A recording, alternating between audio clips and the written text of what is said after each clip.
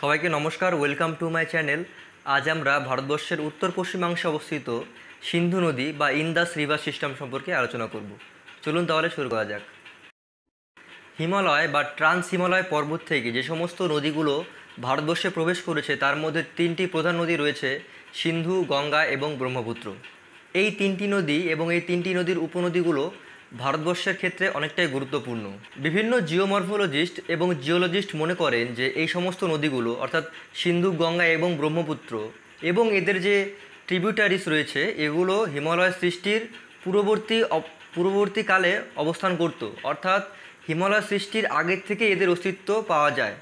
তারা মনে করেন যে প্রাচীনকালে একটি নদী ছিল, যে নদীর নাম ছিল শিবালিক, যেটি বর্তমানে তিব্বত মালভূমির দক্ষিণাংশ দিয়ে প্রবাহিত হতো এবং এর বিস্তার ছিল পূর্বে আসাম থেকে পশ্চিমে পাঞ্জাব পর্যন্ত। এই নদী থেকেই পরবর্তীকালে ভারতবর্ষের তিনটি প্রধান নদী, অর্থাৎ সিন্ধু, গঙ্গা এবং ব্রহ্মপুত্রর সৃষ্টি হয়েছে। ভারতবর্ষের উত্তরে, অর্থাৎ হিমালয় পর্বত থেকে যে সমস্ত নদীগুলো সৃষ্টি হয়েছে, যেমন সিন্ধু, গঙ্গা এবং ব্রহ্মপুত্র, এছাড়াও এদের ট্রিবিউটারি সেগুলোকে আমরা অ্যান্টিসিডেন্ট রিভার বলতে পারি। অ্যান্টিসিডেন্ট রিভার বলতে বোঝায় সে সমস্ত নদীগুলো। যে সমস্ত নদী ভূমির উপর পরিবর্তন হলো, তাদের যে গতিপথ, সেই গতিপথ তারা পরিবর্তন করে না। এবার আমরা সিন্ধু নদী সম্পর্কে আলোচনা করব। সিন্ধু নদী একটি খুব গুরুত্বপূর্ণ নদী। এই নদীটি ভারতবর্ষের উত্তর পশ্চিমাংশে অবস্থিত এবং এটি একটি আন্তর্জাতিক নদী, কারণ এই নদীটি চীনের তিব্বত থেকে উৎপন্ন হয়ে ভারতবর্ষ এবং পরবর্তীকালে পাকিস্তানে প্রবেশ করেছে। এই নদীর মোট দৈর্ঘ্য রয়েছে দুই হাজার আটশো আশি কিলোমিটার, যার মধ্যে সাতশো নয় কিলোমিটার দৈর্ঘ্য রয়েছে ভারতবর্ষের অভ্যন্তরে এবং এই নদীর অববাহিকার আয়তন প্রায় এগারো লক্ষ পঁয়ষট্টি হাজার বর্গ কিমি, যার মধ্যে ভারতবর্ষ রয়েছে প্রায় সাড়ে তিন লক্ষ বর্গ কিমি।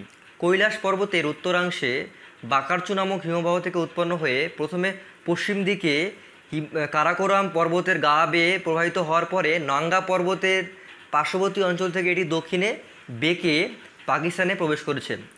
এই অঞ্চলে, অর্থাৎ লাদাখ বা লে অঞ্চলে এই এই নদীর সঙ্গে কতগুলো ট্রিবিউটারিস বা উপনদী এসে মিলেছে? এর মধ্যে রয়েছে শায়ক এবং নুব্রা নদী, যেগুলোর উৎপত্তি হয়েছে সিয়াচিন গ্লেশিয়ার থেকে।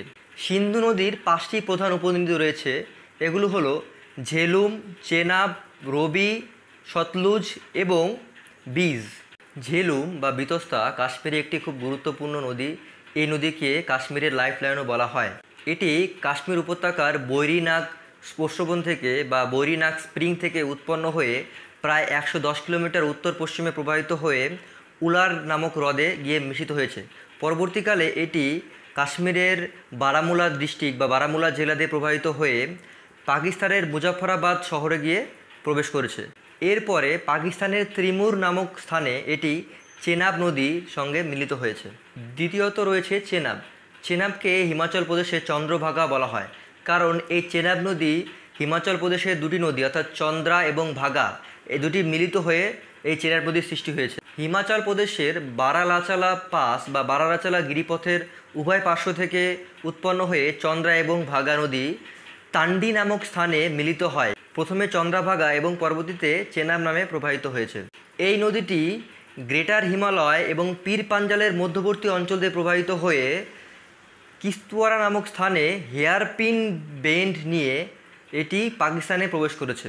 ভারতবর্ষে এই নদীটির মোট দৈর্ঘ্য রয়েছে এক হাজার একশো আশি কিলোমিটার এবং ভারতবর্ষে প্রায় ছাব্বিশ হাজার বর্গ কিমি এলাকা জুড়ে এর অববাহিকা অঞ্চল অবস্থান করে। এই চেনাব বা চন্দ্রাভাগা নদীর ওপরে ভারতবর্ষের তিনটি জলবিদ্যুৎ প্রকল্প গড়ে উঠেছে। একটি হলো গিয়ে সলল, বাগলির এবং দুলাস্থি। এরপর রয়েছে রবি বা ইরাবতী নদী। হিমাচল প্রদেশের রোহতাং পাস বা রোহতাং গিরিপথের পার্শ্ববর্তী অঞ্চল থেকে উৎপন্ন হয়ে এই নদীটি ভারতবর্ষের বুকে প্রায় সাতশো পঁচিশ কিমি দৈর্ঘ্য পার করার পর পাকিস্তানে গিয়ে প্রবেশ করেছে। পীরপাঞ্জাল পর্বতের পশ্চিম ঢাল এবং ধাওয়ালধার পর্বতের উত্তর ঢাল বরাবর প্রবাহিত হওয়ার পরে এটি হিমাচল প্রদেশের ছাম্বা নামক শহরে গিয়ে প্রবেশ করেছে। এরপরে এই শহর দিয়ে প্রবাহিত হওয়ার পরে দক্ষিণ পশ্চিমাংশে এটি বেঁকে পাঞ্জাব সমভূমিতে গিয়ে প্রবেশ করেছে। এরপর পাঞ্জাবের গুরুদাসপুর এবং অমৃতসর জেলা দিয়ে প্রবাহিত হয়ে ভারত ও পাকিস্তান সীমান্ত বরাবর প্রবাহিত হয়ে এটি পাকিস্তানে প্রবেশ করেছে। এরপর রয়েছে বিষ বা বিপাশা নদী। হিমাচল প্রদেশে রোহতাং পাস বা রোহতাং গিরিপথের দক্ষিণাংশে অবস্থিত বিষ বা বিপাশা কুণ্ড থেকে উৎপন্ন হয়ে এই নদীটি কিছু পথ প্রবাহিত হওয়ার পরে ধাওয়ালদার পর্বত কেটে এটি দক্ষিণে দক্ষিণে প্রবাহিত হয়েছে এবং দক্ষিণে প্রবাহিত হওয়ার পরে এটি হিমাচল প্রদেশের কুল্লু এবং মানালি শহরে প্রবেশ করেছে। এরপর কুল্লু এবং মানালি শহর দিয়ে প্রবাহিত হওয়ার পরে এটি কুল্লু এবং কাংরা ভ্যালি দিয়ে প্রবাহিত হয়েছে।